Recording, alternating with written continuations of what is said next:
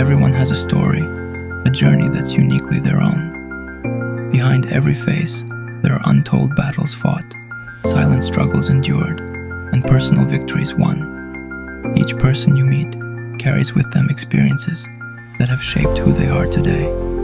Some have walked through fire, others have weathered storms, but all have faced challenges that tested their strength. Everyone has been through something that changed them, molded them, We all carry scars, some visible, some hidden, each telling a tale of survival and resilience. Remember, the world is full of stories, and every person you meet is living out their own. Be kind, be understanding, because everyone you encounter has been through something that you know nothing about.